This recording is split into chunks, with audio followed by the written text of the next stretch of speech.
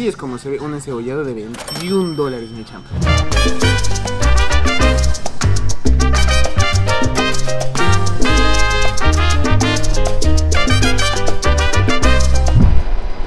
¡Champions!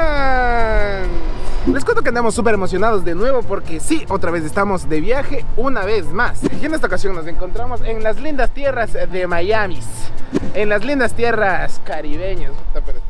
Calor terrible, terrible. Más que Guayaquil, más que Manta. Uh, ay, ay, ay, me duele. Ay. La razón por la que estamos acá es porque eh, próximamente en unos días vamos a realizar una travesía increíble que por primera vez la vamos a visitar, la, la vamos a ver, la vamos a, a, conocer. Es algo que yo decía antes de los 30, de ley, de ley tengo que visitar. Como de ley tenemos que pasar, aprovechar unos días por acá.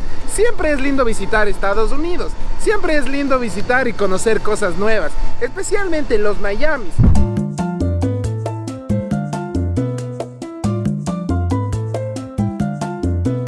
Y en el caso que ustedes vengan acá, eh, generalmente se van a encontrar con dos problemas. La primera es que todo puede ser muy muy caro. El segundo problema específicamente es para los latinos. Aquí solamente cuando ustedes tienen hambre pueden encontrar pizzas, pueden encontrar hamburguesas, pueden encontrar toda esa comida grasosa que generalmente la identifica a Estados Unidos. Entonces para un latino es extremadamente difícil encontrar buena comida. BBB buena, bonita y barata. Y eso sí que es un problema, porque al primer y al segundo día tú dices, ya pasa, qué rico todo eso. Pero al tercer día dices, chuta, cómo me gustaría un cevichito, cómo me gustaría un encebollado en esto, cómo me gustaría una cervecita en este calor. Aprovechando que estamos en calores, a disfrutar. Pero no hay, no hay. Qué difícil. O sea, cevichito peruano sí hay, pero es que el ecuatoriano es totalmente distinto. El cevichito ecuatoriano en estos calores es belleza mayonesa. Un helado con queso de no, así con su quesito, uy. A bogate le iría súper bien. O sea, porque ni, ni eso hay. hay. Hay puro helado cremoso, hay puro helado con crema, pero no un helado de paila, con queso.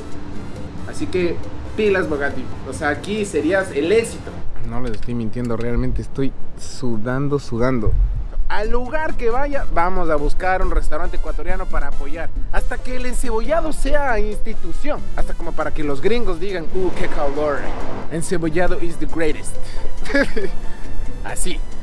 Porque aquí la gente no almuerza, mi champ. O sea, realmente no almuerza. Tú ya ves que alguien está desayunando. Y después va a la cena.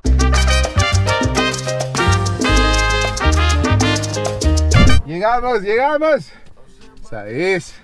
qué emoción. Encebolladito, tal. Bueno, no sé si hay encebollados, no tenemos que averiguar. Qué rico, chuta, pero hasta eso comimos unos taquecitos. Qué bacán, qué ricas que son estas cosas, ¿no?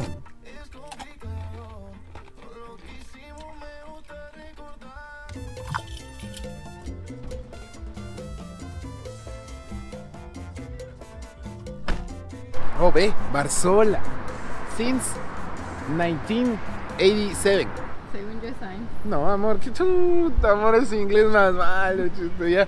Oye, pero qué bacán, se ve súper Sí, el interesante. escudo está ahí en el centro. Y hasta el escudo está en el centro. Uy, no sé, o sea, realmente encontrar un restaurante ecuatoriano es súper loco. O sea, es como que te sientes en casa. eh. Y desde ya te hacen sentir en casa. Tremendo escudo ecuatoriano. Desayuno Barzola. Café con leche, huevo, bolón y bistec. ¡Uh! Chito, ojalá que llegue el cebolladito.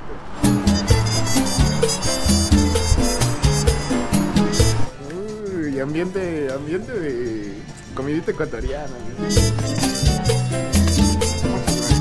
Ve, Apetizers, empanita de verde con carne, 5 dólares, empanada de viento, 4.25. Uf, muchincito, humitas, hallacas, calamar frito, alitas de pollo con papas, salchipapas, salchipapas. Encebollado de pescado. Encebolladitos sí tienen encebollado. Qué bacán. Encebollado de pescado, 21 dólares. Y sin, y sin impuestos. ¿Qué te diré? O sea, amor, ya tocó compartir el encebollado, pero ya. Ya, pingacho, qué loco. Chaula, fan igual 21 dólares. Otra cosa muy interesante es que aquí los jugos difíciles de encontrar. Pero por suerte, si es un restaurante ecuatoriano de ley, hay naranjilla, ahí está bien. Naranjilla, maracuyá, mora, naranja, tamarindo, mango, uh, manzana, tomate de árbol. Ya pedimos, ya. Lo pedimos, lo pedimos, pero ahora sí, un hack para pedir comida ecuatoriana en, en otros lados, en otros países, pues es preguntar de dónde es el dueño. Una pregunta, ¿de dónde es el dueño? Guayaquil. Guayaquil, uff, encebollado entonces. Porque si el dueño de un restaurante ecuatoriano es de la sierra, de ley tienes que pedir platos de la sierra, así como fritada, hornado, tripa, eh, porque le va a salir una bestia. El encebollado, mm, así que por suerte, este local, eh, por suerte es de un guayaquileño, así que guayaquileño de ley tiene que saber cómo hacer encebollado. Y por suerte no te preguntan con canguil, eso sí, ya el guayaquileño te dice, eh, sale de aquí, como con canguil, o popcorn.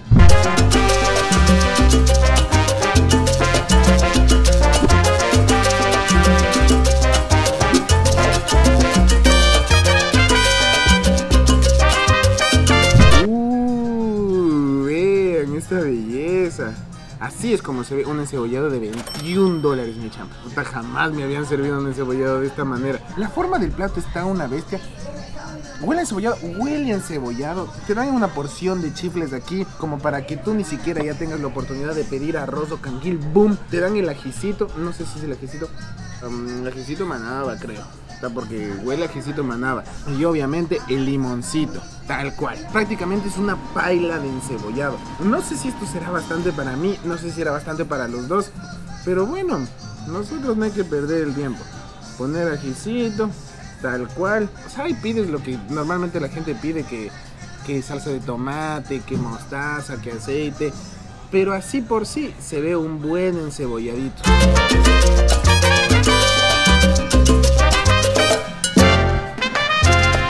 Mí sí me encanta, me encanta, me encanta, me encanta con limón.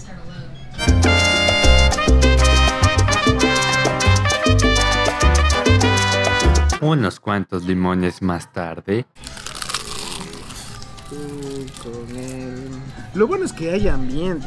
Eso sí, es un plus adicional que para el ecuatoriano, obviamente, tener todo el ambiente así como tal, de decir, tú estás en el país, veamos el cebolladito. Hijo, así se ve contundente, sí, no, sí avanza para los dos. Hágale. Mm, mm, mm, mm. Picantito, sabores de tu tierra. Esto sí es comida, ¿no? Imagínate pegarte esto hasta las orillas de la playa de Miami, no, pues imagínate pegarte pura comida chatarra. No, esto es pura fibra, pura naturaleza. Eso sí está un poquito salado, a diferencia de otros encebollados. Pero esto para alguien que no ha estado años y años en su patria, es manjar de fin de semana. No sé, está súper bien hecho. Y eso que ya voy comiendo la mitad y esto sigue y sigue. Es una lavacara de encebollado. Definitivamente no entiendo cómo a la gente no le gusta este plato. Es que tú cuando tragas, sientes, sientes la tierra, sientes esa tradición. Realmente soy feliz cuando hay comida ecuatoriana. Porque de aquí no es que no es que hay una comida típica, típica, típica, porque mm, es como que una mezcla de culturas que mm, a la final vas a encontrar lo mismo que en Ecuador. Así si quieres sushi vas, si quieres comida china vas, si quieres comida mexicana vas. Tampoco es que vas a encontrar como que el cocodrilito asado, así algo, algo, algo raro, no. No, o sea, no creo que Miami tiene mm, platos típicos, no tiene, o sea, no creo que tiene comida típica. Si alguien sabe y diga, no, pues aquí el cocodrilito asado es una bestia y no lo vas a encontrar en otra parte del mundo, ya. Por eso es que uno viene acá y al primer día, chévere, ya come una cosa grasosa. Al segundo día, otra cosa grasosa. Pero ya al tercero dices, no, o sea, dame un chochito. dame un encebollado, un, un cevichito. Ah, bueno, eso sí se encuentra, pero el peruano, el ecuatoriano, difícil.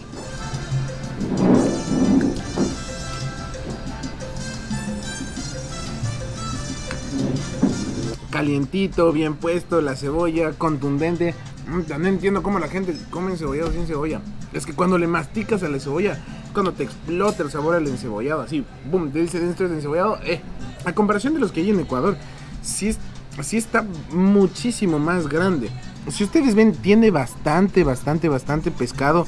Tiene yuca cortada, yuquita, tomatito. Se le ve bastante bien.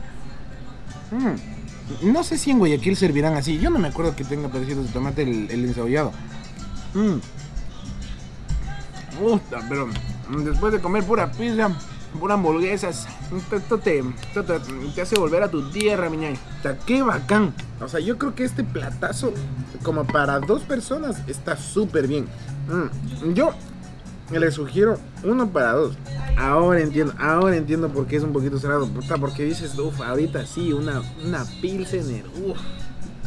Pilsener es mi linda, es mi, es mi bella. Encebolladito con Pilsener. Chuta, pero para llevar.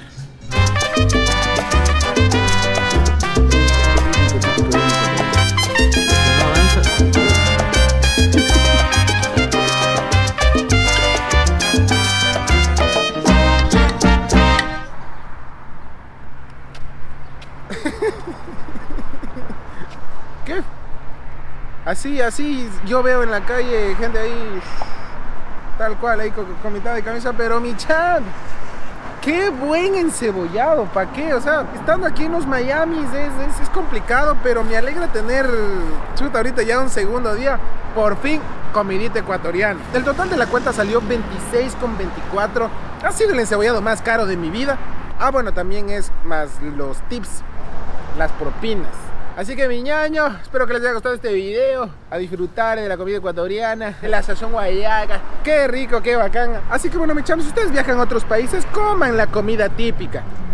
Pero si no hay, y si solamente hay pizzas, si solamente hay hamburguesas, si solamente hay cosas grasosas, busquen el restaurante de su país, de su preferencia, y digan, ve, qué rico es esto.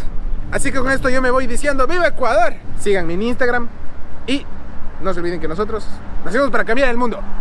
Hasta que el encebollado no sea mundialmente conocido, no descansaremos. Iremos a cualquier rincón del mundo a buscar encebollado.